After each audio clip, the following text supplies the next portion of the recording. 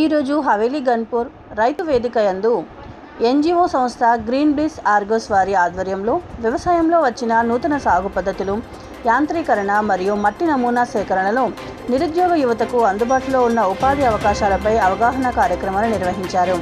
ఈ సందర్భంగా వారు మాట్లాడుతూ ప్రభుత్వ వ్యవసాయ శాఖ మరియు స్వచ్ఛంద సంస్థల సహకారంతో రైతులందరూ సంఘాలుగా ఏర్పడి వ్యవసాయంలో వచ్చిన నూతన సాగు పద్ధతిలో వ్యవసాయం చేసి తక్కువ ఖర్చుతో ఎక్కువ దిగుబడి సాధించి అధిక లాభాలు పొందుతున్నారు. రైతులు కేవలం వరి పంట మాత్రమే కాకుండా ఆరుతడి పంటలైన కూరగాయలు ఆకుకూరలు దుంపలు చిరుధాన్యాలు మొదలైన పంటలు సాగు చేస్తూ ఉపాధి అవకాశాలు కల్పించుకుంటున్నారు. తక్కువ ఖర్చుతో భూసార పరీక్ష ఎక్కువ రోజులు కూరగాయలను ఎలా నిల్వ చేసుకోవాలో వివరించారు.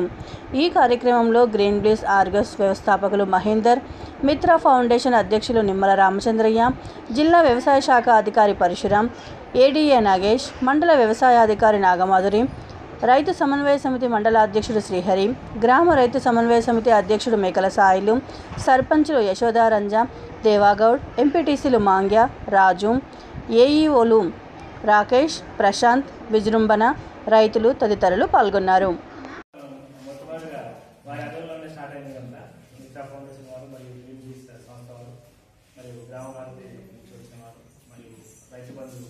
జిల్లా కార్యవర్గ సభ్యులు మండల రైతు సర్పంచ్ గారు మిగతా గ్రామాల సర్పంచ్లు ఎంపీటీసీలు రైతులు నేను ఏదో అనుకున్నా యాక్చువల్గా అంటే ఎన్జిఓస్ అంటే జనం చాలా ఎన్జిఓస్ ఉంటాయి ఏదో కార్యక్రమాలు చేసుకుంటూ పోతున్నారు కానీ మన వ్యవసాయానికి సంబంధించి ఇంత చక్కగా చేస్తున్నారని అనుకోలేదు చాలా బాగా అంటే విన్న తర్వాత అనిపించింది.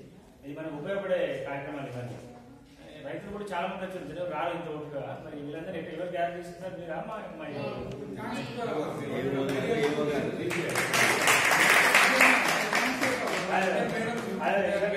రాళ్ళు ఇంతమంది తెలుసుకుంటారు కానీ ఇప్పుడు సాధారణంగా మన మీటింగ్ ఎట్లుంటాయంటే గ్రూపులు ఏర్పడదాము తర్వాత మళ్ళీ గ్రామంలో పోయి మిగతా రైతులతో చర్చించుకుందాము అనే కాన్సెప్ట్ అందరికి ఉండదు ఇప్పుడు ఒకళ్ళ ఒకళ్ళు కాదు కదా పది మంది. ఎంతమంది ఉంటారు అనేది పక్కన పెడితే మన జిల్లాలో వారు అన్నట్టు ఇప్పటికే ఎఫ్పిఓలు మనకు ఐదు ఉన్నాయి మన మన మెదక్ జిల్లాకు ఐదు కేటాయించారు. దానికి సంబంధించి లాస్ట్ వీక్ మీటింగ్ కూడా అయింది కలెక్టర్ గారి ఆధ్వర్యంలో. అదంతా కూడా నేనే చూసుకుంటున్నాను జిల్లాలో. మొత్తం నేనే ఎల్డిఎంతో కోఆర్డినేట్ చేసుకోవడం అంతా కూడా. అందులో మన మండలం లేదు యాక్చువల్గా గంటూరు మండలం లేదు.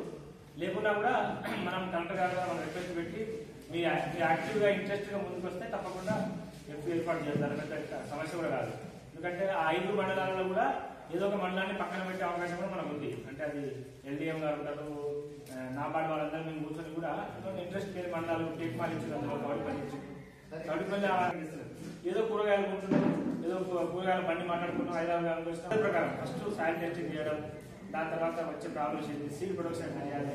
సీడ్ ప్రొక్యూర్మెంట్ ఎట్లా చేయాలి? మధ్యలో మధ్యలో మనకు వచ్చే ప్రాబ్లమ్స్ ఏంటి? బెస్ట్ ఏంటి? మాట్లాడగా చెప్పగా రాకేష్. రైతు వచ్చి ఉండొచ్చు ఒక వచ్చి ఉండొచ్చు విషయం ఏంటంటే పది మంది కాదు మన గ్రామం కలుసుకుంటే వంద మందితో గ్రూప్ ఏర్పాటు చేయొచ్చు. పది మందితో ఇప్పుడు రైతు జనాలు ఎట్లున్నాయంటే మహిళా సంఘం. మీకు వినబడుతుందా? వెనక్కి వినబడుతుందా? నమస్కారం అండి. మాది గ్రీన్ ప్లీస్ అగ్రో అనే సంస్థ. ఆ, ఈరోజు ఇక్కడ మిమ్మల్ని ఇన్వైట్ చేసినందుకు జిల్లా వ్యవసాయ అధికారి అలాగే సహాయ వ్యవసాయ అధికారి అలాగే వాళ్ళ టీంకి మా రావు గారు ఆయన యాక్చువల్గా ముఖ్య భూమిక పోషించారు మమ్మల్ని ఇన్వైట్ చేయడానికి. అండ్ ఇక్కడికి వచ్చిన మీ అందరికీ కూడా నమస్కారం అండి. సో క్లుప్తంగా మీకు వివరిస్తాను మేము ఏం వర్క్ చేస్తున్నాము దానివల్ల ఏంటి మీకేం లాభము?